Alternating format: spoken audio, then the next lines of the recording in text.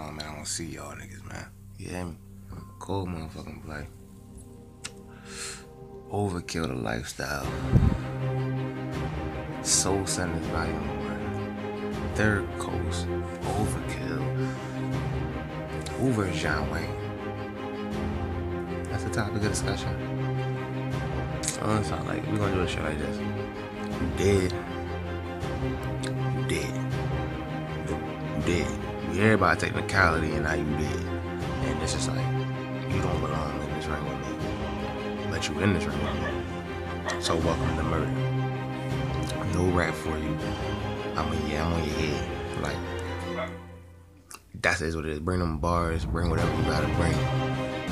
Bring your team, bring your entourage, bring whatever. Because when it comes down in Greensboro at Shiner's Club on that motherfucking stage, and all them people watching, bro, I mean your motherfucking face is a big difference, bro. It's not sweet. Watch my footage. I'm not sweet. I snap. I went. I, I lost, and I don't know how long.